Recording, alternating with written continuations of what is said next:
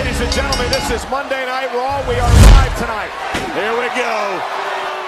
Time for the Viper to strike. Went for the elbow, oh, the chin.